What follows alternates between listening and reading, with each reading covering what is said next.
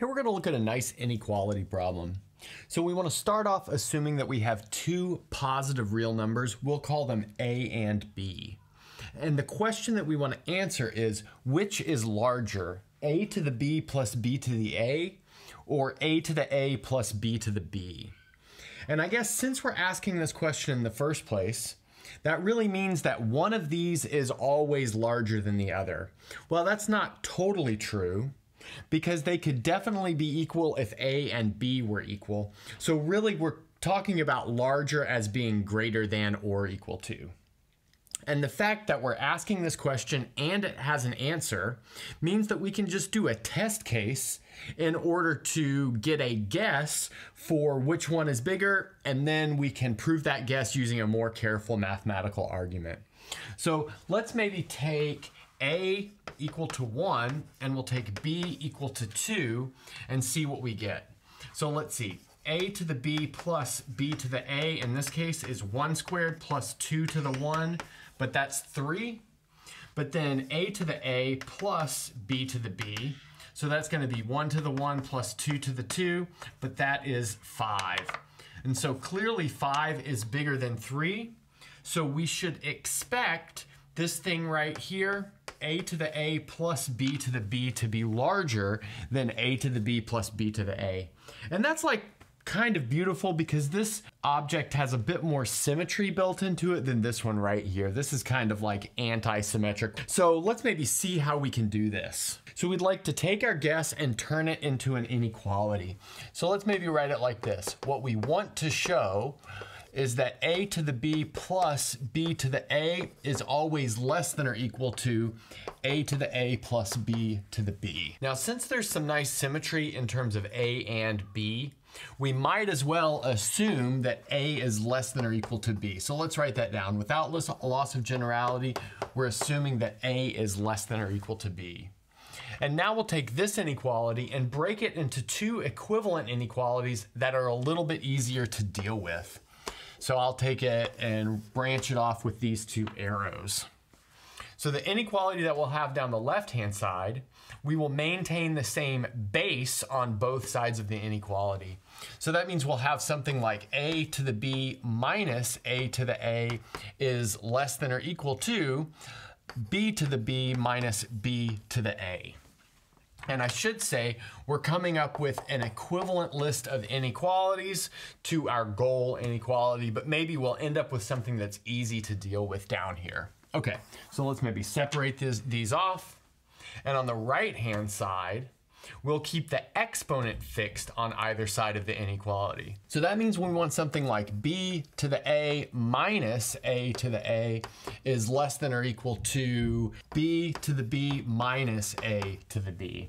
And again, this is equivalent to our goal inequality but maybe sometimes it'll be better to have the base fixed and sometimes it'll be bigger to have the exponent fixed. That's going to depend on the overall size of A and B. Okay, so now let's jump down this line and see if we can simplify it a little bit.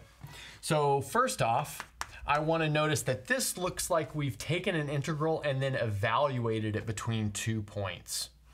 So in fact, this looks like we've taken the integral and gotten the function a to the x and evaluated it from a to b. And here we've got b to the x and we've evaluated it from a to b. Okay, but we can take this evaluation and turn it into a definite integral just by taking the derivative with respect to x on both sides. So that gives us the integral from a to b of natural log of a times a to the x dx is less than or equal to the integral from a to b of natural log of b times b to the x dx. So now this inequality is equivalent to this inequality, which is equivalent to this inequality, which is equivalent to our goal inequality. Okay, nice.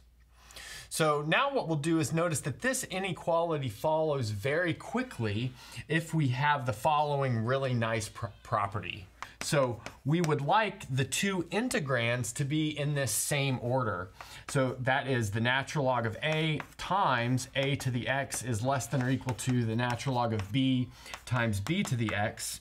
And this needs to be true for all x on the interval of integration, so a to b.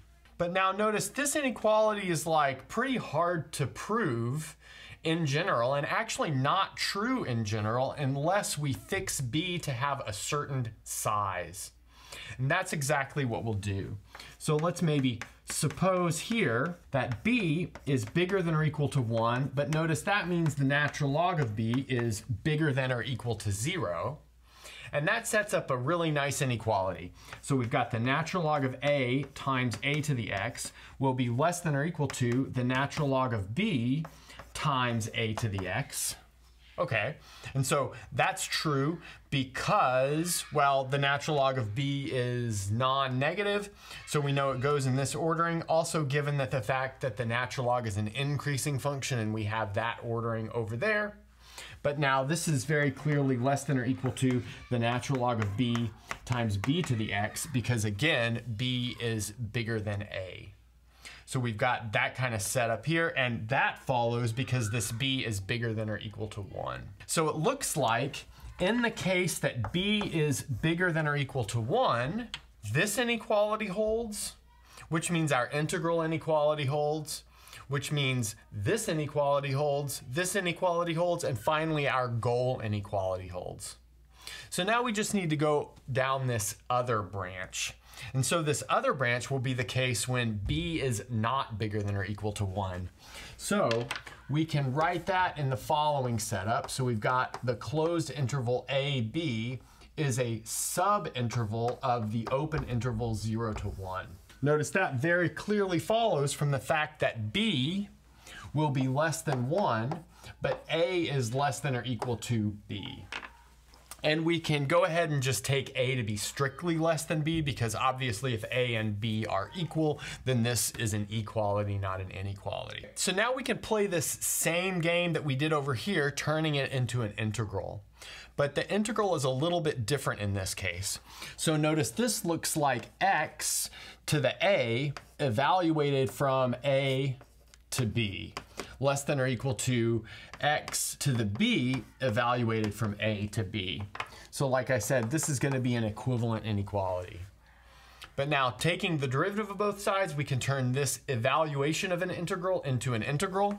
So that'll be the integral from a to b of a times x to the a minus 1 is less than or equal to the integral from a to b of b times x to the b minus 1 dx. So again, that is an equivalent formulation of our goal inequality, but now in the setup where b is less than 1. That's the one that we're looking at right now. Okay, so now we would like a similar nice setup over on this side that we had over here. What I mean by that is we would like the integrands to hold this same inequality. So let's write that down. We, we would like a x to the a minus 1 to be less than or equal to b x to the b minus 1. And this is going to be true for all x on the appropriate interval. I won't write that because we're running out of room. Okay, but now how can we look at that? Well, maybe it would be easier if we took the log of both sides and then we could more easily figure out that inequality or show that that inequality is true.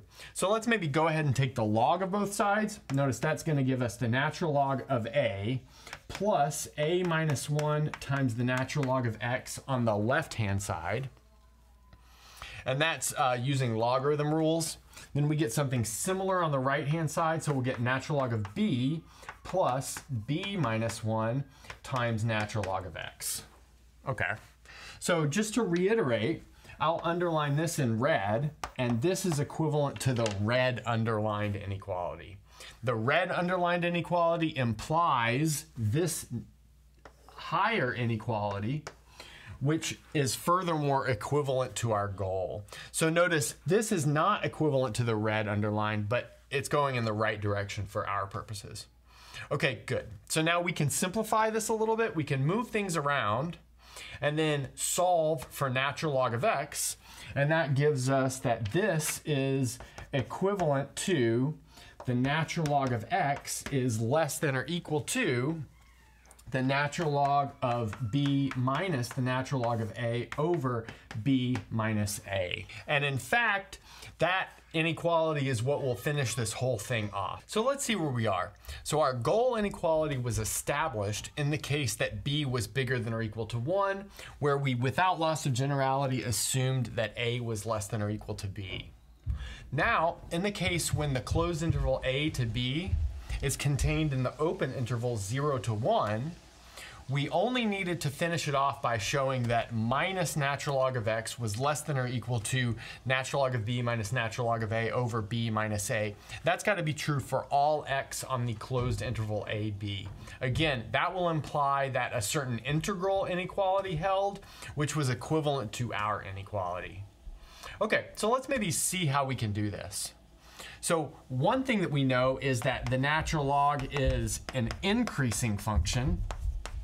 And so since it's an increasing function, we know the natural log of x will be bigger than or equal to the natural log of a for all x on the interval a, b.